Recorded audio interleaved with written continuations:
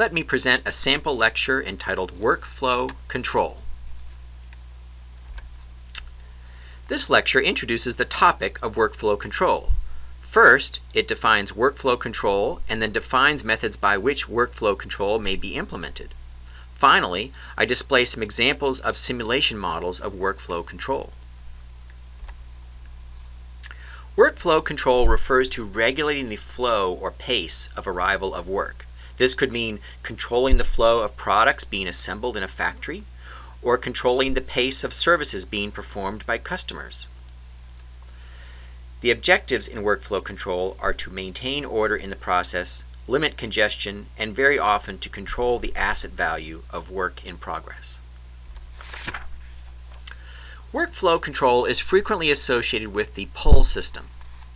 This system is frequently, represented in the literature with conflicting definitions. In particular, it is frequently classified as make to order. But I prefer the definition composed by Wallace Hopp and Mark Spearman in their 2004 M&SOM paper. Hopp and Spearman fundamentally distinguish push and pull according to whether or not a system enforces a limit on work in progress.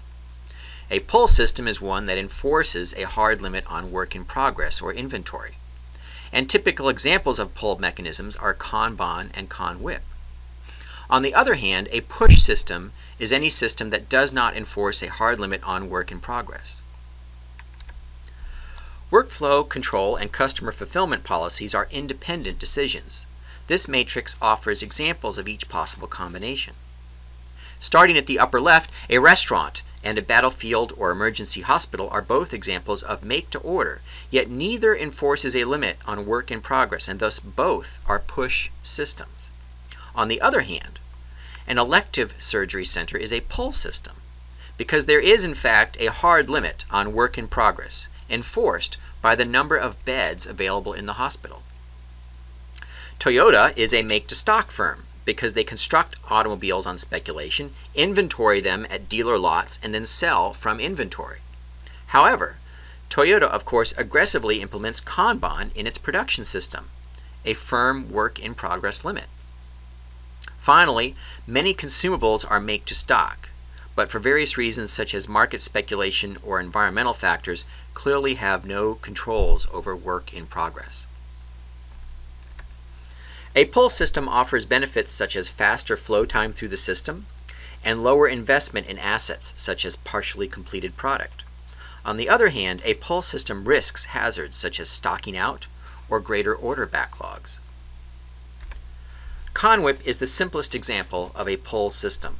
A single set of physical cards enforces one work in progress limit across the whole system, and the count of cards is fixed. When work enters a job, when, when work or a job enters the system, a card is affixed to the work. If no card is available, the work or raw material must wait outside the system.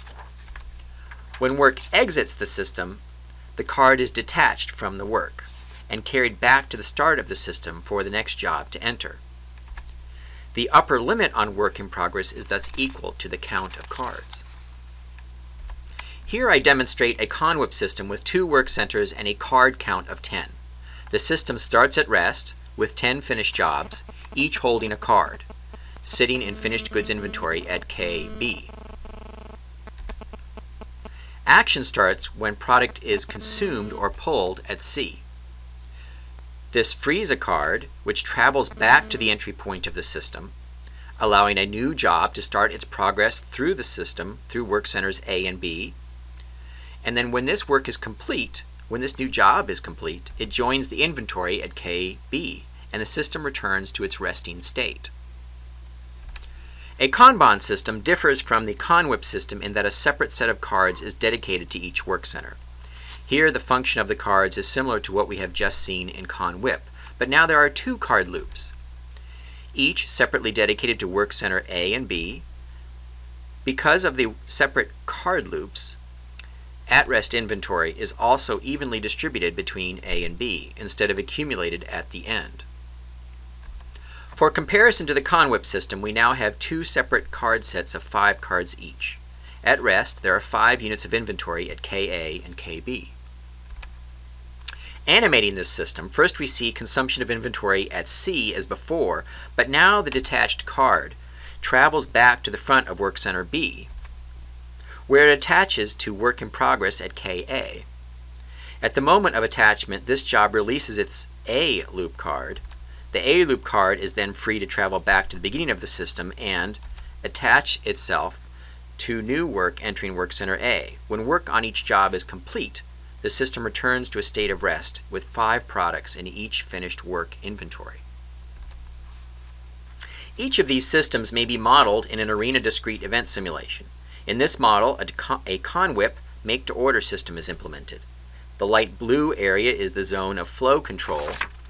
Cards are modeled as additional resources that the ent entity must seize to enter the zone of control and release upon exiting the zone of control.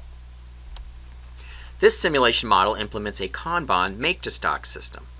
Two separate resource seize and release loops emulate the Kanban cards, and a closed entity loop simulates the flow of finished goods and raw materials.